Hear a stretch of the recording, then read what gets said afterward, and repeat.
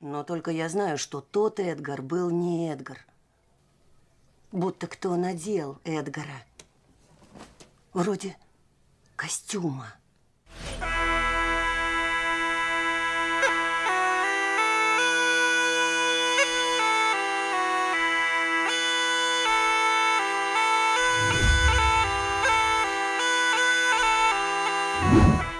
Сейчас мы поговорим об одной распространенной болезни, которая оказывает непосредственное влияние на осознанность.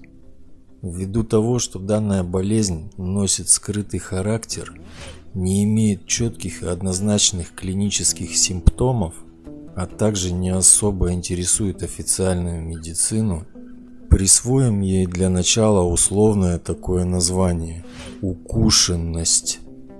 Попробуйте по ходу описания угадать, о чем идет речь.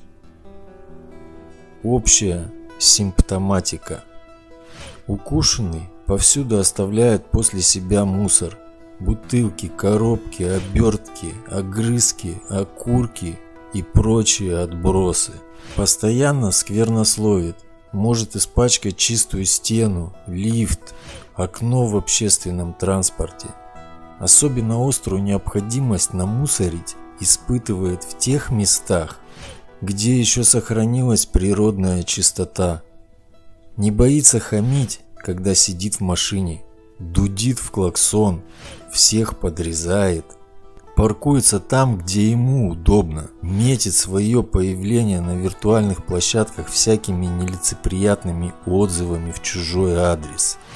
Старается вылить свой негатив на окружающих любыми доступными способами, действует бессознательно на уровне заложенных социумом программ или инстинктов.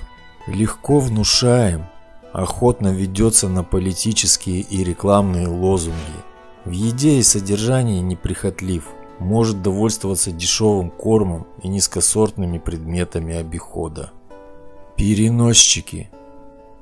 Человекообразные человекоподобные, копытные, грызуны и прочие представители животного мира. Течение болезни. Болезнь в основном протекает без особых клинических выраженных симптомов, но в зависимости от серогруппы возбудителя, степени его вирулентности, величины заразительной дозы – а также состояние специфического иммунитета и резистентности организма, болезнь может протекать в различных формах – острой, подострой, хронической, латентной и абортивной.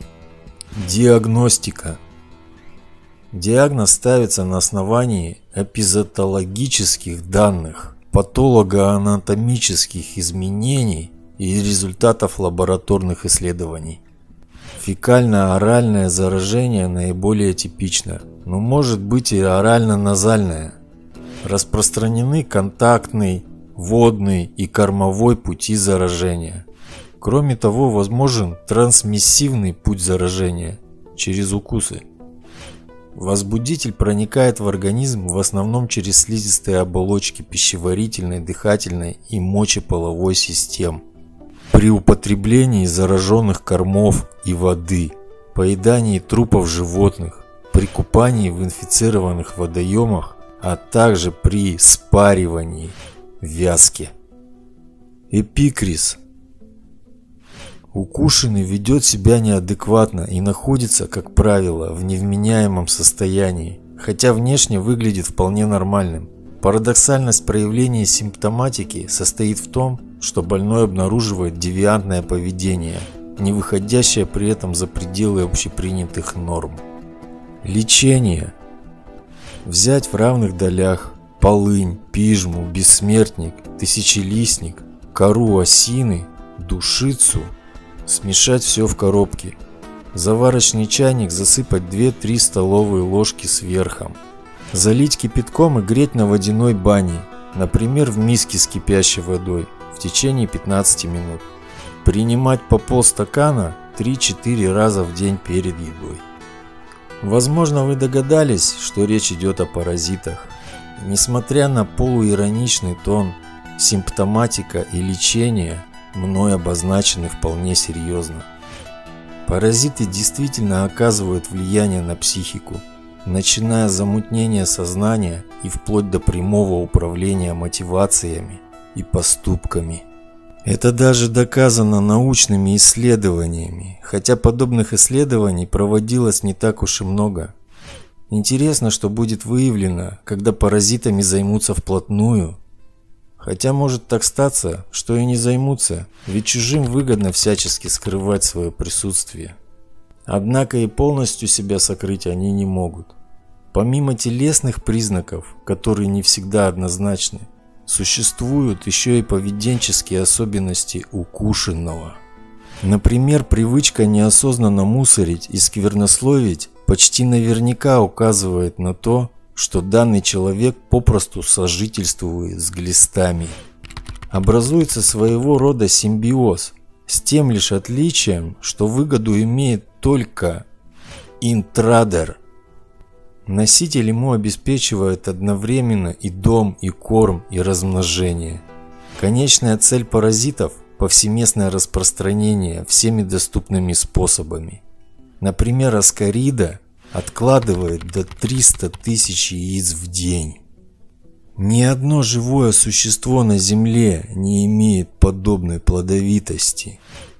Свою цель чужие реализуют в том числе и через управление поведенческими реакциями носителя. Носитель стремится бессознательно разбрасывать вокруг себя все, к чему прикасается. Прямым или косвенным образом материальными или вербальными способами. Поведение укушенного носит именно бессознательный характер, поскольку управляет собой не он сам, а тот, кто сидит внутри с джойстиком. Человек не отдает себе отчета в тот момент, когда кидает мусор. И он не ругается матом, а разговаривает. Для него это все привычно, нормально и естественно. Такое вот естество. Весьма неприглядное, если наблюдать со стороны, но вполне органичное для нашего социума. Потому как этих самых укушенных большинство. И как всегда подавляющие. Вот и получается такая странная формулировка. Девиантное поведение, не выходящее за пределы общепринятых норм. А не так давно было установлено, что паразиты испытывают особое пристрастие к синтетическим продуктам, одежде, предметам обихода. Чем больше химии, тем лучше для них. Скорее всего, такая приверженность обусловлена последствиями, которые несет с собой продукция техносферы. Снижением иммунитета и общей интоксикацией организма, что паразитам как раз и надобно. Не от того ли весь рынок сейчас наводнен дешевыми и некачественными товарами? Присутствие паразитов редко проявляется в прямых симптоматических признаках. Паразиты тела ведут себя тихо, они не заинтересованы в своем обнаружении. Человек может чувствовать себя вроде бы неплохо, но в то же время внутри у него творится такое. Лучше обойдемся без подробностей. Многие брезгливо отмахнутся. Ну уж нет, меня это не касается, это где-то далеко, в Африке или у бомжей. А я руки мою и зубы чищу, и чувствую себя великолепно. Как бы не так, хорошее самочувствие обманчиво, и длится оно до поры до времени, пока процент заражения не превысил определенную норму. Хотя едва ли здесь можно говорить о какой-то норме. Если внутри меня и за счет меня живут какие-то твари, разве могу я с этим мириться? Мало кто об этом осведомлен, но разновидностей паразитов, от всевозможных червей до простейших одноклеточных и грибов, насчитывается больше, чем всех остальных видов вместе взятых. Также ни один человек не может достоверно знать, что у него там внутри – если никогда не занимался специальной чисткой? Однозначный ответ способен дать только патологоанатом при вскрытии. А вскрытие умершего больного, как правило, обнаруживают в его кишечнике черви. Чем болел этот человек? Да чем угодно. В основании пирамиды едва ли не всех болезней лежит заражение паразитами. И населять они могут не только кишечник, но и любой внутренний орган, в том числе мозг и кровь. Ортодоксальные врачи долгое время агрессивно противились данному факту. Как это так? Кровь стерильна. В ней не может быть ничего инородного. Так было до тех пор, пока их не ткнули в сильный микроскоп и не показали, что в крови плавают комки непереваренной пищи, грибы и даже личинки червей. Не так давно были обнародованы еще и съемки, где видно, как в ходе операции из пульсирующего сердца извлекают вгрызшихся паразитов. Их тащат пинцетом, а они извиваются и упираются. Человек до поры до времени чувствует себя более-менее хорошо в этом отвратительном сожительстве. Но вот наступает момент, когда границы дозволенного пройдены, и тогда былое здоровье начинает разваливаться на глазах, как карточный домик. Больному ставится диагноз, являющийся следствием непонятно чего. Врачи не знают истинной причины, потому что причина их по большому счету не интересует. Их дело лечить пациента своими институтскими методами, покуда тот жив. Такова истинная и неприглядная сторона нашей действительности. Ученые и медики открещиваются от всего, что они еще не успели прописать в своих диссертациях. Вот когда пропишут, тогда будет научно и обоснованно. А пока надо все непонятное и неизученное объявить антинаучной профанацией. Как некоторые упертые ученые отгораживаются от паранормальных явлений, антинаучных, так и многие приверженцы официальной медицины не считают необходимым уделять пристальное внимание проблеме паразитов. Ни то, ни другое не хочет легко поддаваться изучению и объяснению, а значит проще его игнорировать. Чем же занимаются у нас внутри непрошенные гости?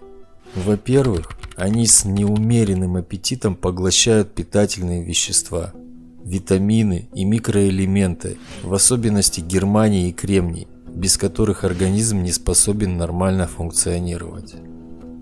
Во-вторых, они засоряют все органы своими токсическими выделениями. Им ведь тоже в туалет ходить нужно, а туалет этот внутри вашего тела.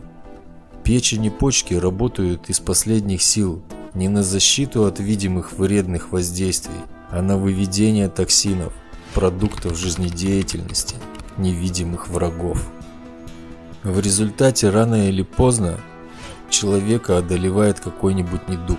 Такие характерные болезни, как ОРЗ, рак, СПИД, диабет, гепатит, имеют одну и ту же первичную, насколько прозаическую, настолько и мерзкую причину паразитов. Любые заразные болезни также являются хоть и косвенным, но следствием этой первичной причины. Когда организм человека больше не в состоянии справляться с отравившими его токсинами, он теряет иммунитет и заболевает. Недавно Всемирная организация здравоохранения все же обнародовала доклады от фактов «Куда денешься?», из которых следует, что до 80% всех существующих заболеваний человека либо напрямую вызываются паразитами, либо являются следствием их жизнедеятельности в нашем организме. По свидетельствам патолого-анатомической практики, 90% вскрытых трупов кишат крупными червями, простейшими одноклеточными микроорганизмами. По данным частотно-резонансной диагностики, всевозможными паразитами заражено 97% населения – Особенно высока степень заражения аскаридами, острицами и всеми видами ленточных червей. Грибковыми инфекциями заражено более 25% населения. Однако эти цифры скорее всего занижены по причине малой изученности темы. Как показывает опыт тех целителей, которые вплотную занимаются проблемами заражения паразитами, заражению этому подвержены 100 человек из 100 в той или иной степени и форме. К середине жизни общая масса паразитов в теле достигает от нескольких до десятков килограммов в зависимости от веса тела. Здесь учитываются не только черви, но и простейшие, одноклеточные, а также грибы. Они обитают повсюду, в любых органах и межклеточных пространствах. Заиметь гостей может не только беспризорный африканский ребенок, но и любой человек, считающий себя цивилизованным и соблюдающий, как ему кажется, нормальную гигиену. В действительности существует великое множество способов заразиться, от шашлыков и сала до рукопожатия. Легко. И в утробе матери в том числе – Помимо очевидного физического вреда, паразиты тела оказывают прямое воздействие на сознание человека. Как они это делают, химическим или каким-то другим путем, не суть важно. Главное, что такое воздействие есть, хоть и не хочется в это верить. Многие паразиты буквально зомбируют своих хозяев. Такой характерный сюжет, когда в человека заползает какая-то тварь и начинает им управлять, вовсе не из области фантастики. Вот что по этому поводу пишет Елена Краснова, кандидат биологических наук. Замечательных высот в технологии зомбирования хозяина достиг ланцетовидный сосальщик, личинки которого живут в муравьях, а взрослые стадии – в копытных. Такие личинки умеют управлять поведением муравья. Раздражая мозг насекомого, они заставляют его сбираться на кончик травинки и висеть там неподвижно. Так сосальщик увеличивает вероятность быть съеденным скотом вместе со своим промежуточным хозяином. Но в жаркую погоду личинки ослабляют хватку. Не в их интересах, чтобы муравей погиб от пересыхания. Пусть спустится и охладится у сырой почвы. А что творят со своими хозяевами таксоплазмы, эти одноклеточные паразиты, у которых в роли промежуточного хозяина выступает мышь, а в роли конечного – кошка, очень заинтересованы в успехе кошачьей охоты. Таксоплазмы поселяются в мышином мозге, но не где попало, а в том его участке, который отвечает за восприятие запаха кошачьей мочи. Нормальные мыши, почуяв этот запах, убегают, а инфицированных мышей он наоборот привлекает. Для человека можно привести следующий пример. Если человек постоянно сквернословит, то есть не ругается, а разговаривает матом, не задумываясь, разбрасывает вокруг себя мусор, именно так идет и не думая кидает бутылку или обертку, или выплескивает из себя на окружающих негатив, тогда я могу абсолютно точно сказать, что у него попросту глисты. Такова природа паразитов, они распространяются разбрасыванием нечистот в прямом и переносном смысле. Еще одно проявление наличия паразитов в теле – человек не желает ничего слышать на эту тему, его это раздражает. А еще он старается питаться именно такой пищей, которая благоприятствует росту и размножению паразитов. То есть не натуральной, синтетической, мертвой, Натуральная пища, особенно живая, растительная, очень вредна для паразитов. Из письма живого человека. Есть в наших краях древний лес. Мощные стволы вековых деревьев вздымаются высоко в небо. В одном укромном уголке с давних времен находится дивный источник. Водица чудная, вкусная, добрая, Люди прознали об источнике и теперь постоянно приезжают к нему со своими баллонами, водой запасаться. Много людей из города. Казалось бы, все они должны быть благодарны чудесному источнику за то, что дает им водицу. Но нет. Увиденная картина привела меня в полнейшее изумление. Повсюду возле источника валялся мусор. Мне приходилось видеть всякое, но что бы такое? Очевидно, это клинический случай, представляющий уже чисто медицинский интерес. Иначе как большим процентом укушенных из числа посетителей источника объяснить данное явление невозможно. Носителю того, кто сидит внутри с джойстиком, не придет в голову сказать источнику слово благодарности. Напротив, он еще и напачкает все непременно – но сделает это совершенно неосознанно. Он и к источнику пришел бессознательно. Просто краем уха где-то услышал что такая вода вроде как полезна, вот и верит слепо, что получает свою долю пользы. Однако укушенному никакого проку от родниковой воды не будет, потому что ценность такой воды в благости информации, которую она несет.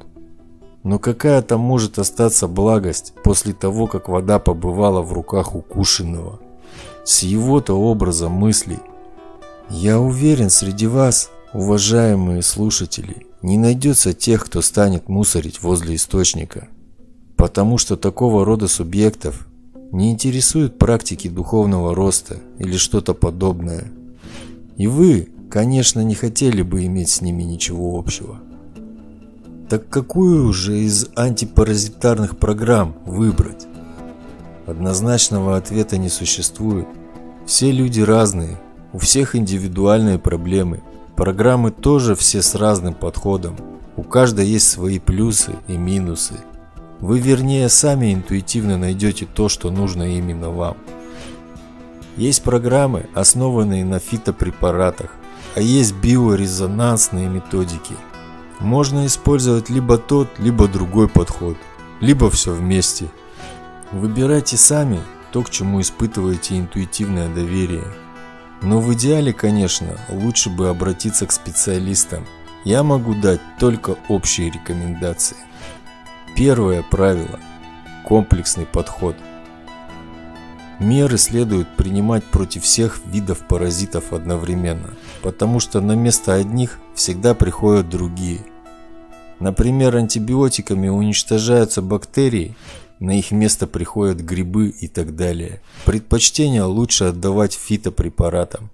Химия, как всегда, одно лечит, другое калечит. Второе правило – активизация работы желудочно-кишечного тракта. Недостаточно обезвредить паразитов, их нужно еще и выпроводить. Здесь тоже могут быть использованы соответствующие фитопрепараты. Нет нужды глотать таблетки. Например, берется по 100 грамм инжира и чернослива, пропускается через мясорубку, добавляется 50 грамм листьев сенны. Можно взять из пакетиков. И далее все это смешивается с медом и тыквенным маслом. Можно оливковое. Тоже по 100 грамм. Хранить в холодильнике и принимать каждый день по чайной ложке перед сном. Третье правило. Пища во время курса лечения должна быть богата клетчаткой. Следует также ввести в свой рацион антипаразитарные растения – лук, чеснок, черемша, перец, горчица, хрен, редька, гвоздика, тыквенные семечки, гранатовый сок, дыня, арбуз. Четвертое правило. Продолжительность курса должна быть не менее полтора-двух месяцев. Паразиты – это самые живучие и настырные из всех созданий, населяющих нашу Землю. Они не уйдут просто так лишь от того, что им указали на дверь. Надо дать им понять, что в вашем организме для них созданы совершенно невыносимые условия. Пятое правило – лишить паразитов их излюбленного меню – если вы продолжаете употреблять супермаркетную синтетику, изделия из муки высшего сорта, сахар и дрожжевой хлеб, то получается, что вы пытаетесь прогнать чужих и в то же время холите или лелеете их, что нелогично. Все лечение может пройти впустую. Если вы решили перейти на новую ступень пирамиды, чужие постепенно сами покинут вас – потому что они не выносят чистую среду и живую растительную пищу. Однако до того момента, когда ваш организм окончательно очистится и восстановит здоровый иммунитет, может пройти достаточно много времени. Так что устроить чужестранным туристам хотя бы одну увеселительную для них программу не помешает. Не откажите себе в таком удовольствии. Самое универсальное и дешевое средство против чужих Настой из горьких трав. Стандартный рецепт я уже привел ранее. Горечи, помимо того, что они заставляют гостей корчиться, еще и нормализуют функции желудочно-кишечного тракта. В сравнении с химическими препаратами Горечи практически безвредны и бояться их не надо. Труднее всего избавиться от одноклеточных и грибов. Это самые коварные и настырные гости. Они сидят тихо, почти ничем себя не выдают, но ведут очень разрушительную деятельность. Например, даже не столько тяжела пища, сколько хеликобактер, спиралевидная бактерия, является одной из основных причин язвы, гастрита и изжоги. Недаром средства от изжоги так широко рекламируются. Видимо, на то имеется повышенный спрос. Далее еще пара простых рецептов из природных антибиотиков, специально против одноклеточных. Лямблии. Смешать в равных долях корень девисила, сабельник, соцветие бессмертника, мяту перечную, корень кровохлебки. Заварочный чайник засыпать 2-3 столовые ложки сверхом, залить кипятком и греть на водяной бане в течение 15 минут.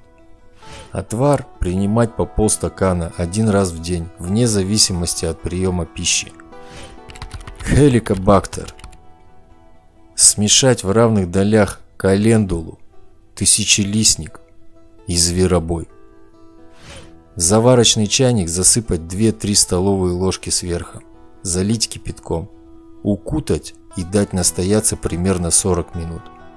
Принимать по полстакана за 30 минут до еды, не менее 4 раз в день. Пить все это, конечно, не очень приятно. Зато как же приятно осознавать, что для чужих это вообще пытка – Информация, которую вы услышали, взята из книг Вадима Зеланда. Взлом техногенной системы, глава называется «Укушенные с джойстиком внутри», и апокрифический трансерфинг, глава называется «Паразиты тела». Как говорится, в здоровом теле здоровый дух, и да пребудет с нами сила прошлых воплощений.